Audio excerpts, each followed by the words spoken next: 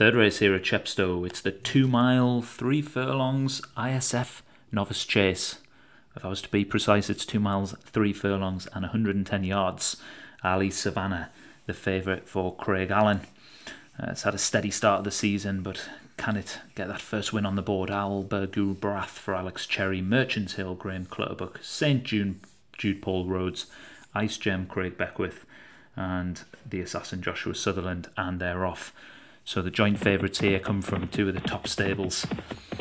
Hemsworth Farms uh, has Ali Savannah here for trainer Craig Allen, just racing quite keenly as the front uh, front runner so far, and the other is the assassin for Joshua Sutherland. So those two um, probably have the best form on offer, which is why they're going off at nine to four favourite. It isn't just who the trainer is; they've got the best form to back it up so far A really interesting race. He was 16 fences to jump over this two mile, three and a half furlong race for novices.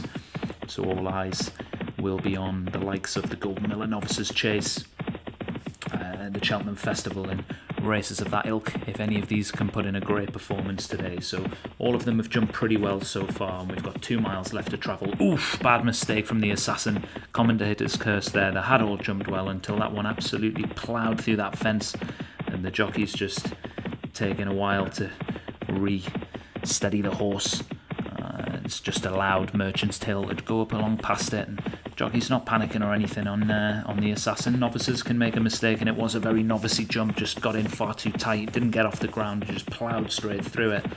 The jockey did well to stay on board as they got to the other side. As they start swinging left-handed here at Chepstow, they've then got a small hill to climb on what's quite an undulating track as they approach uh, they go away from the stands and start to go to, out towards the back straight. And it's been Ali Savannah that's led since the tapes went up. St Jude is now the horse in second for Paul Rhodes in third. We've got Ice Gem a couple of lengths behind that one. The Assassin's just travelling on the outside of that one and about to go up alongside it. The jockey's just bustling uh, that one along for a few strides. And towards the rear of the field, we've got Merchants Hill and Alba Gubrath. So as they come over that next flight, oh, all of them jump that really well, and that's the 11th furlong marker that they've gone past as well. So it's Ali Savannah still in the lead, St Jude closer than ever as they come in the next flight. The front two get over it quite nicely. The Assassin's just being a bit more cautious at its fences, but it's jumping them absolutely fine as they come to the next one. There you go. The Assassin puts in a deadly jump there, just flies over it and moves into second place, passing St Jude, relegating that one to third as they come to the next one. Good jump up front from Ali Savannah, slightly better than the Assassin. And then we've got St Jude in third, a couple of lengths back to Ice Gem. Merchants Hill and Alba Gubratha back markers as they come over the next fence. Good jump from all of them, slightly slow at the back from Alba Gubrath. And a mile left to travel now, and it's still Ali Savannah in the lead for Craig Allen in those green and gold hoops. Really quick jump again there from the Assassin. That's much more like it. Shows it's got some really good jumping in at this horse. And let's see how well it jumps once the pressure's on towards the end of the race. So Ali Savannah still leads, hasn't seen another horse since the tapes went up, and the trainer will be hoping it stays that way as they start to swing left handed and come back towards the home straight here at Chepstow. Ali Savannah still in the lead. Couple of lengths back to the assassin who's still trying to close St Jude, who dropped off the pace, is now trying to pick up and stay back on again. Ice Gems moving forward as well and has just about gone into third position there. Merchants Hill behind those, and you can forget about Alba Gubrath. That's not winning this one today. So four and a half furlongs left to go as they come to that next fence. Ali Savannah got over it well. The assassin wasn't too quick again, and that's allowed Ice Gem to move up and pass that one. St Jude back in fourth. Uh, Merchants Hill trying to stay on as they come to the next.